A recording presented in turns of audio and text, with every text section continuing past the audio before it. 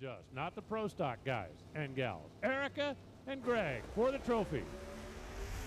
Erica 009 on the reaction timer. She gets away first.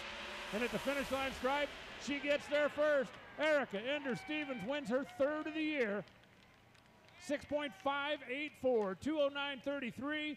Greg Anderson, 6.591 at 209.14. Are you, in fact, living a dream?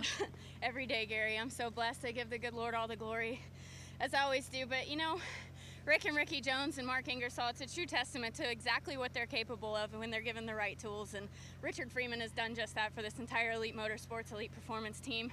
You know, we're really excited about the uh, the documentary deal we've got coming up, and uh, that's racinginred.com. But for all the people that support us, Mark Stockseth, Engines Inc., United Mechanical, I'm uh, I'm just so proud. Uh, last week, I lost a really, really near and dear friend to me, Tommy Costales. He was uh, the reason for the success that I had in the sportsman ranks. So I want to, I want to dedicate this one to called him Mommy Tommy. Uh, we love you guys, and uh, we got her done. Awesome. Earlier today, you were talking about how, I believe it was nine years ago at this racetrack, you qualified number one for the first time. When you think about what has transpired over nine years, what's the overpowering thing that sticks out in your mind? Um, teaming up with the right people.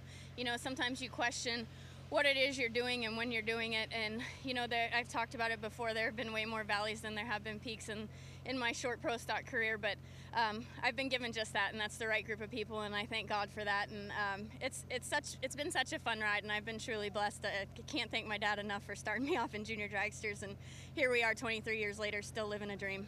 Well, we congratulate you once again. Thank you, Gary.